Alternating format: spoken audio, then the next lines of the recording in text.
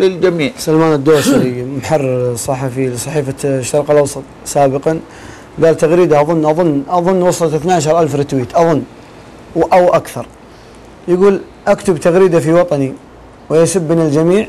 الله أفضل عندي من أكتب تغريدة ضد وطني ويمدحني الجميع. الله شوف كيف؟ اي والله يقول أكتب تغريدة يا شوف. تمدح وطني ويسبني الجميع. الله احسن ولا أكتب تغريدة واحدة ضد وطني ويمدحني الجميع. ما في فايده لأن في ناس أعوذ بالله عندهم فوبيا مدح الوطن.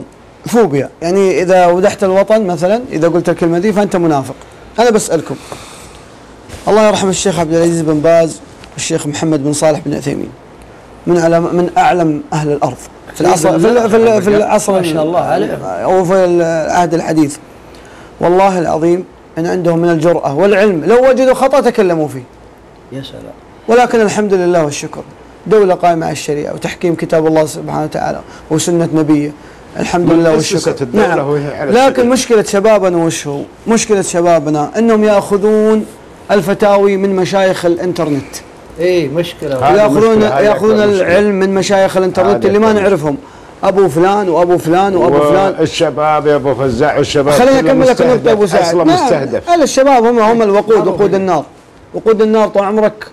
وأسأل الله سبحانه وتعالى أن يلهمهم رشدهم وهم قليل. اللهم آمين.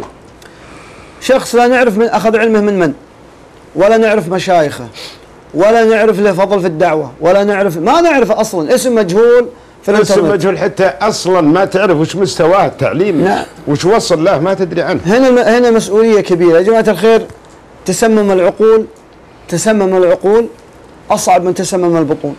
إذا تسمم البطن غسيل معدة. إيه. تسمم العقول. غسلوا له اهون من تسمم البطون. أو تسمم البطون اهون من تسمم العقول. العقل إذا تسمم مشكلة.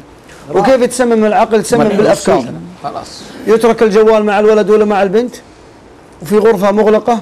يدخل على مواقع يدخل على مقاطع يوتيوب. ناس عندهم عندهم كلمات رنانة في غير وقتها. في غير وقتها. يعني يدغدغون المشاعر ويعرفون كيف إيه. يدغدغون المشاعر. وانت يا غافل لك الله تقول الدنيا طيبة والأمور طيبة ولا تدري إن هالولد قا- قاعد فكره يشوش. فهنا كبيرة له على الأم. الشمس في كف نعم، والقمر شيء. الجنة. يجيب له يا جماعة الخير جابوا مقاطع في زمان غير زماننا وفي حوادث غير حوادث. قال شوف هذه صارت في المكان الفلاني وانت اللي قاعد تاكل وتشرب وهي أصلا الصورة قد تكون في بلد أصلا ما هو مسلم. وانتهت.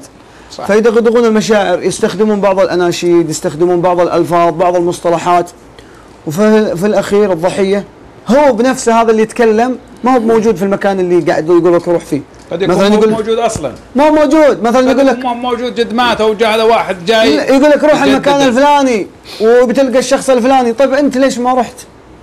أنت أنت ليش ما رحت؟ أنت منك قاعد على تويتر ولا ليش ما رحت؟ منافق هذول أبو فزاع يستغلون. مجندين مجندين على على هالأمر. هذول يستغلون حتى